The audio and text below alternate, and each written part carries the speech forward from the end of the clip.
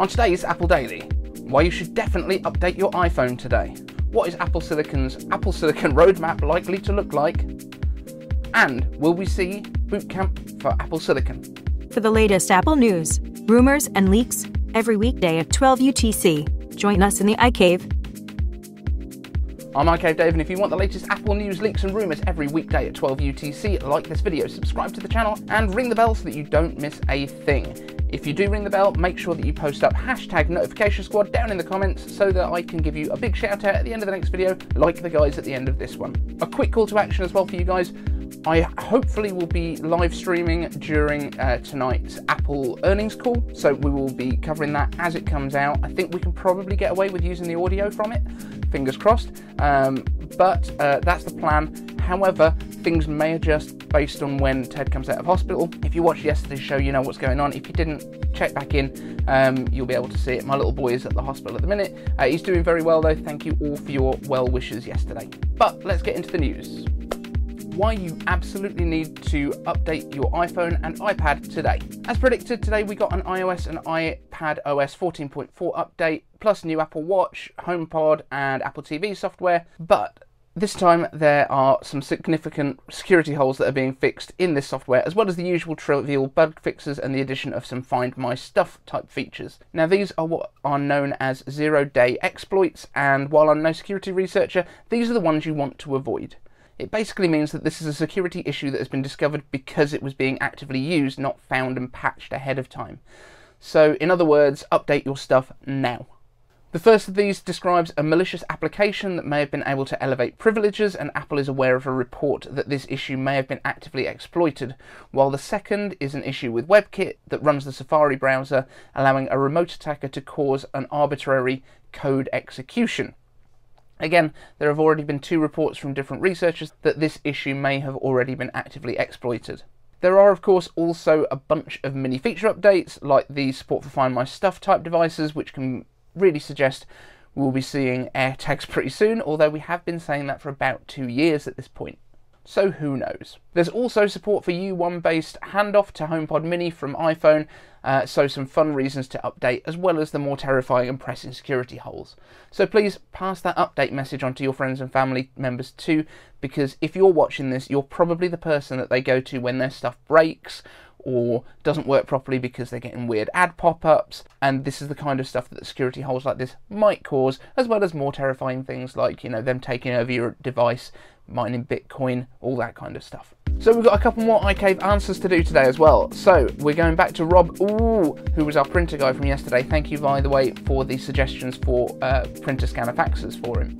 But Rob ooh, asks, with A15 coming out in late 2021, do you think Apple will push out to M2 Macs to match? Or do you think they will try to milk the M1 still and put out M1X late in 2021, even when the A15 becomes available? Or perhaps they will have both M2 and M1 Macs for different Pro level Macs, just like they have A12, A13, and A14 iPhones for sale at the same time.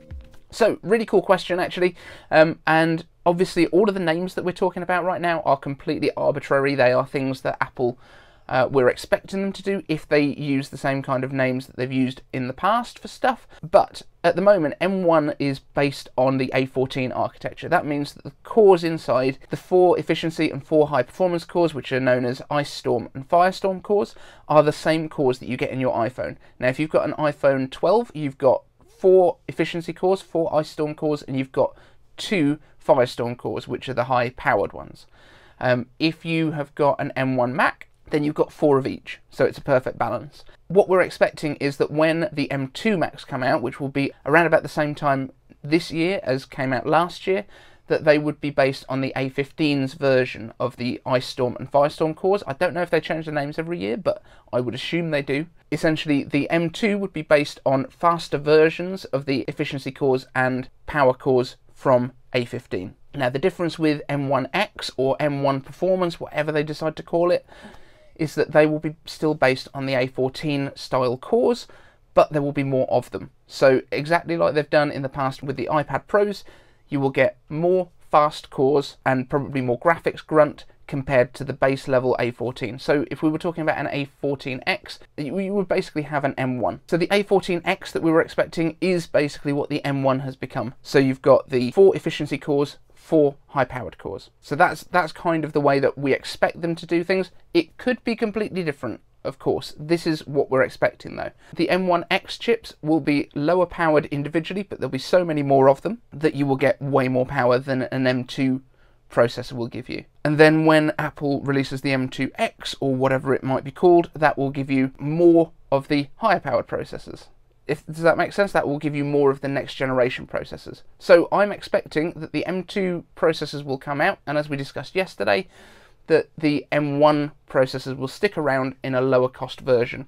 So very much like you were saying, with the A12, A13 and A14 still being in different iPhones. So you've got A12 in the iPhone 10R, you've got A13 in the iPhone 11 and the SE, um, and then you've got A14 in the current flagship line. Once A15 becomes the flagship line, you will probably keep around one of the iPhone iPhone 12s with A14, you'll keep around the iPhone 11 with A13, and that will probably be the range at that point. So I do predict that we will still see some M1 Macs for sale because Apple is not making multiple SKUs of these processors. So whereas Intel is at the moment offering multiple different levels of processors, their i3s, i5s, i7s, in each generation. I think what Apple is more likely to do is keep the M1s around and reduce the price so that they get an, a lower starting point price and then the new processors with new designed Macs will come in at the original price. Um, so you've got a premium version, and you you're now starting to build up, your back catalogue of less powerful Macs, but still absolutely capable. So hopefully that gives you an answer that you were hoping for. Um, fingers crossed. Next question comes in from Janos Weimer. Janos asks, when will Boot Camp be available for M1 Macs? I know that Apple is waiting for Microsoft to allow work on that, but is there any news on how it is going? Now, this is a, a really interesting one. There is no guarantee that Boot Camp will ever be available for M1 Macs or for Apple Silicon in general, but at the moment, we know that it's physically capable of running the software.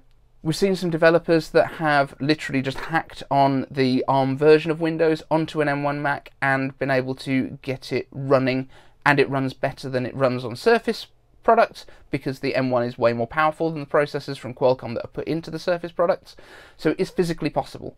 Uh, licensing is the bigger issue, and Apple finding a way to make it dual boot if that's something that they actually want to do. Now, there's no guarantee that Apple wants to offer dual boot options. There's no reason that they have to. It's very much something that they kind of added into the Intel Macs when they first arrived uh, back in the mid 2000s. Um, and that was just to give an extra reason for people to buy a Mac so that they could actually run both operating systems. However, now that we've got to the point where Apple has got a bit bigger market share, not big by any means. I think it's somewhere around 8% of the computer market. We will probably find out more about this stuff later on in that earnings call. Um, but there's not necessarily a reason that Apple needs to be able to run Microsoft Windows on their hardware anymore. Rosetta runs very, very well um, and it has been shown already that you can run Windows within Parallels. Again, it's not licensed at this point, so it's not something I recommend people go out and do. Parallels is still in beta, but it is technically possible to do. It can be done. And I think more likely uh, the way that Apple will go is to hope that Microsoft offers licensing on non Microsoft branded hardware um, so that it can be run in an emulator or in parallels or something along those lines and just brute force it because the amount of power in these M1 chips should very quickly be able to give you a really good experience of that without actually needing to dual boot. Um, if you think of the ARM processors, uh, the ARM instruction set based processors that Apple Silicon is built on, um, which is very similar to what we have in an iPad.